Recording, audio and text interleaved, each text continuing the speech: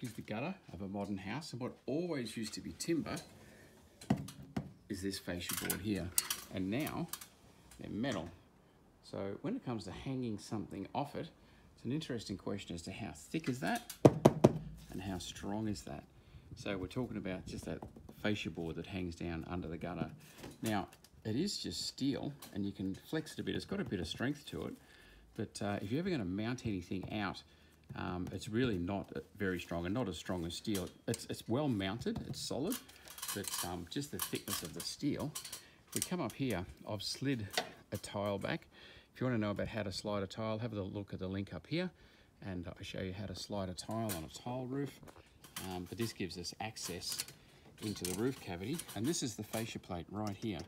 It comes up and it's bent over. Again, it's giving it its strength. And here, I can feel the inside edge. I'll see if I can show you that, um, that inside edge there. Now, because I want to actually run some wires across, I want to run these vines. And again, I've got some good videos about the vines. Have a look up there if you're interested.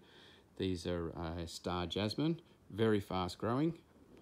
You can see they're wrapping right around the corner and coming around. Uh, and they're going to form a roof. We're just going to string some wires across. There'll be another video. Um, I'll put a link up there to that one when we do those wires and string that across but the fascia just isn't strong enough to um, bolt into or screw into. So what I've actually done, um, you can see here I've marked it in the gutter, um, that wiggly line, where I have glued a board uh, inside. See, there's the batten off the roof. That's what's holding the whole roof. And then the fascia, the steel plate, is attached with this um, metal plate here. And I have glued, let's see how we go getting the camera inside. So you see that board? I've just got an old board and glued it. I've pushed it as hard up as I can and just used um, construction adhesive or liquid nails and I've glued it onto the fascia plate here. Um, and then out here on the gutter, I've marked exactly where the board is. Um, you see that um, black wiggly line, that one there. Now what that means is um, when I slide the tile back down, I know there's a board there so I can screw hooks into that. I can um, bolt things into that. It's now just like a wooden fascia. And because I've put a reasonably big board in there, that's about 10 inches to 12 inches long. Um, it means it's got the any load I pull on it, like if I hook something in here and pull it back, any load I pull on it is going to be out over the entire um, length of that piece of steel.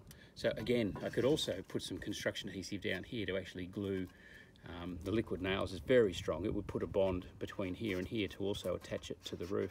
But for what I'm going to do, I'm just going to put a cable across and hang the plants on it.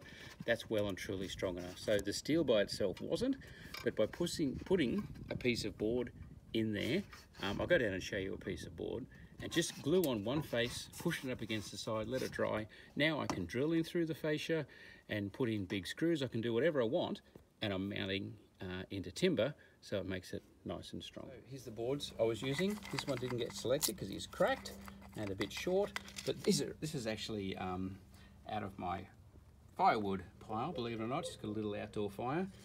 Um, and this is just some offcuts of wood. So, you know, it's sort of just a bit under an inch thick. Um, solid piece of timber. The one I used, as I said, was about a foot long, so a bit longer than that. And I've just set that in and it slides down into the fascia glue on the face here, um, slide it in, bang, it's glued in place. So now there's just that thin bit of steel in front and anything we attach is coming in um, to that piece of timber. So we can screw things in now like you can't do with the steel. And the big thing is any pulling force that happens here, instead of happening a millimeter around the bolt hole, it's happening right across. All the load is being spread right across this big face, so the whole thing pulls on the fascia. So it really, really helps um, when it comes to mounting things. So there you go, that's my solution. Uh, and that's how we're going to get this job done.